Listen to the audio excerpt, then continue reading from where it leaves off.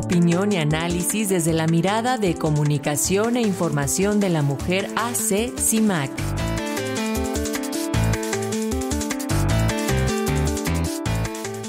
Aquí lo hablamos, eh, Paco, el pasado 11 de julio se celebró el Día Mundial de la Población, una fecha que busca llamar la atención sobre la urgencia, la importancia de buscar soluciones a todas las problemáticas que giran en torno a la población en el mundo. Y bueno, sobre este Día Mundial de la Población, sus logros y retos, tenemos el comentario de CIMAC esta mañana en voz de su directora, Lucía Lagunes. ¿Cómo estás, Lucía? Te escuchamos. Buen día.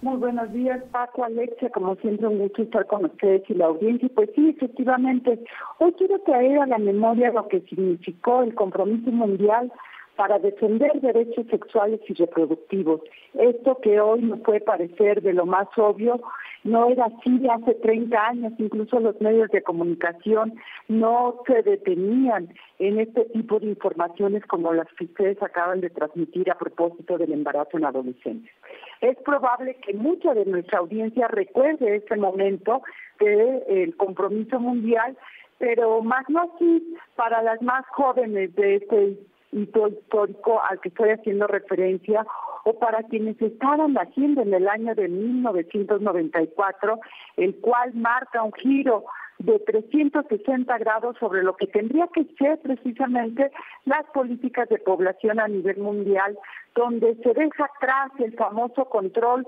poblacional y el control de la fecundidad de las mujeres como política gubernamental y se coloca precisamente en el centro los derechos para eh, los derechos precisamente para la ruta como ruta, perdón, para garantizar el derecho, el desarrollo mundial. Y no es en balde, Paco Alexia, que entonces se le marcara como un hecho revolucionario. Este acuerdo alcanzado en la entonces Conferencia Mundial sobre Población y Desarrollo que puso a las personas su dignidad y su derecho al placer y a elegir si quieren o no reproducirse en el centro de las políticas de desarrollo mundial y que este 11 de julio, a propósito precisamente del Día Mundial de la Población, se le recuerda y se hace una valoración de lo alcanzado y los retos que quedan. Porque fue gracias a eso que se dejaron a un lado estas políticas natalistas que hago referencia, que generaron graves violaciones a los derechos humanos de las mujeres, porque bajo la presión mundial de bajar el número de nacimientos, especialmente en los países pobres, pues los gobiernos justificaron precisamente políticas represoras como la esterilización masiva de mujeres pobres que incluso se dio en nuestro país. Veníamos de un mundo que sancionaba el disfrute sexual de la juventud y que negaba la importancia de la educación sexual como una base fundamental para el desarrollo responsable de ese disfrute.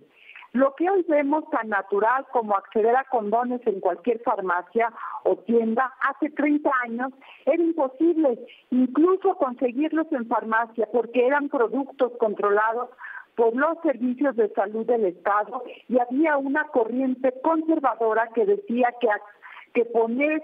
eh, en acceso a la juventud de este tipo eh, de, de, métodos anticonceptivos generaba una incitación a la, a la vida sexual. Para las mujeres jóvenes pensar en el disfrute sexual sin tener que procrear, bueno, pues se me hallaba como ideas exóticas de mujeres libertinas y hoy hay que decirlo, Alexia, Paco, las jóvenes pueden incluso planear su vida sexual sabiendo que tienen el derecho a acceder a todos los anticonceptivos y que pueden adquirirlos con mucho mayor facilidad y sin tantas sanciones morales. Todavía quedan rezables, que es lo que todavía nos deja como reto estos avances logrados. Y no es que romantice lo que hemos logrado sin reconocer precisamente lo que aún falta, pero me parece fundamental que miremos lo ganado para tener entusiasmo y seguir impulsando los cambios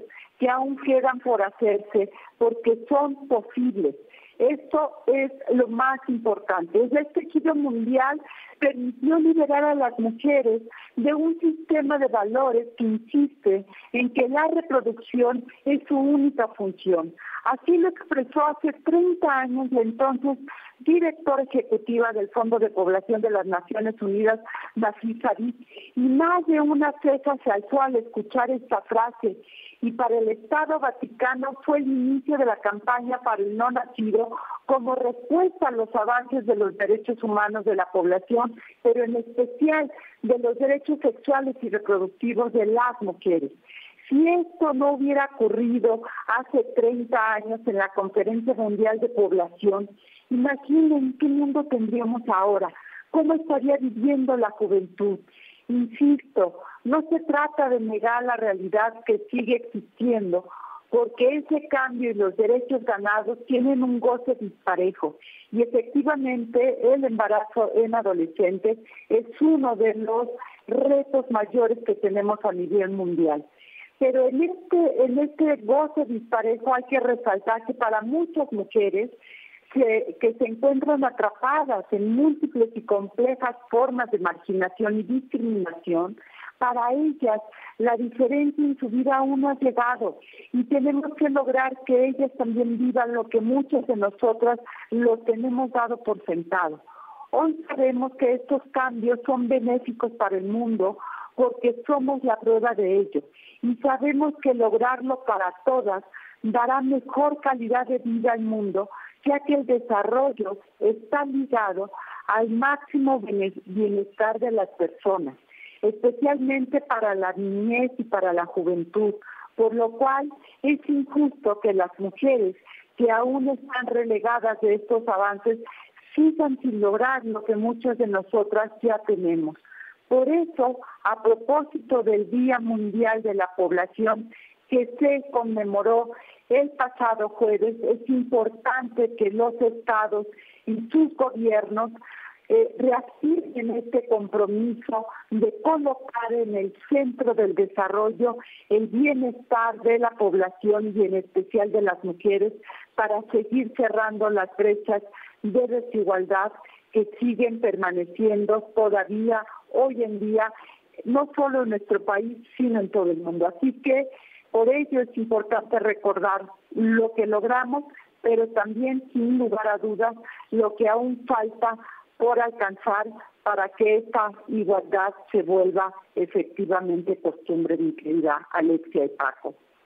Totalmente, Lucía Lagunes, y muchas gracias por ayudarnos a recordar y a reflexionar en torno a estos temas. Te enviamos un fuerte abrazo a ti y a todas las compañeras de CIMAC.